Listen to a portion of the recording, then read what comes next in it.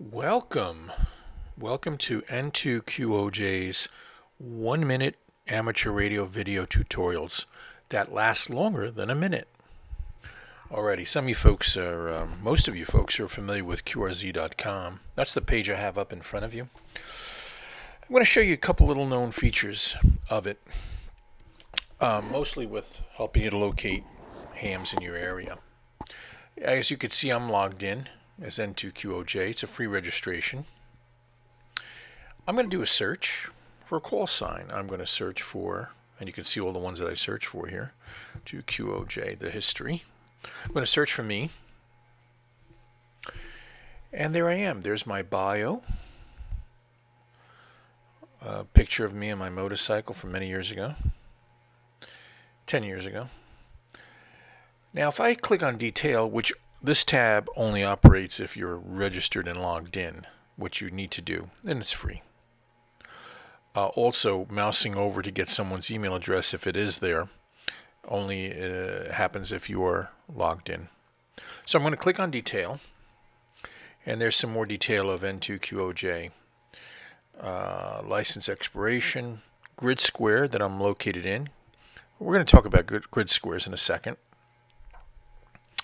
And to your right, show map. I'm going to click on that, and it's going to, if the address is correct within um, the database, it's going to show a map of a location. And there I am. For me, it happens to be exact. That is where I'm located. Now, look here at the bottom. Explore ham on ham grid maps. Let's try that. Now what you're going to see is the grid that I'm located in, latitude and longitude, was which was also on the previous screen, but now here is quite easy to see. And now you can see the actual Maidenhead grid locator around my area. Now, what is a Maidenhead grid locator? Well, VHF contesters like to locate and exchange grid squares um, because they're dealing with different kinds of locating than an DX. So back in, oh, let's see, we'll go to here to go to here to ARRL and search on grid squares. You'll see here it says the Maidenhead locator system, named after the town outside London, when it was first conceived by a meeting of European VHF managers in 1980. A grid square measures 1 degree latitude by 2 degree longitude and measures approximately, approximately 70 by 100 miles in the continental U.S. Okay, I won't get into how that grid locator system actually works, but you can just go to Wikipedia, look it up, and you'll get all the information you would like on how to do that. Also, uh, if you just do a simple search, let's see, Maidenhead. Okay, there, grid, map, file type PDF. That'll give me only search results that have a PDF file and we select that and we get all these PDFs. Let's look on the first one. And oh, there you go. There's a nice grid square map by ICOM. There's many others. Just use that wonderful tool called Google or some other search engine. I am DM43FF. DM43FF is right here.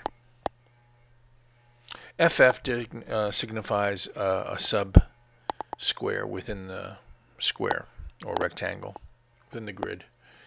Alrighty, going back to QRZ. So now look what else it says here. Show hams. Look at the hams in my area, in my grid square. Showing 11 hams in my grid square. Okay.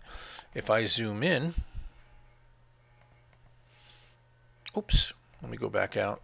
I clicked outside the square, so it lit up another square. DM43GF, and then you see nobody's there. So if I mouse over now, over these dots, you can see who they are. and maybe somebody who's watching this will see theirs. Okay? And that's how easy it is to check on hams in your local area. Now, of course, it's not always accurate because sometimes people don't update their addresses or may have input it incorrectly and so forth. But you can turn on grid squares all around you and look at densities. Now you can see Mesa, quite dense. Okay. Anyway, I just wanted to show you that because it's a nice tool to see who may, a quick tool to see who may be around your area. Alrighty. Of course, you can go to do a query of, let's say, San Tan Valley, AZ. Search by name, address, and now we'll get a listing of all the hams that are noted in the database as Santan Valley, Arizona. You see this 159 matches and four pages worth. So that's an interesting way to see it. You'll recognize some names here. Okay, uh, and there's Sean.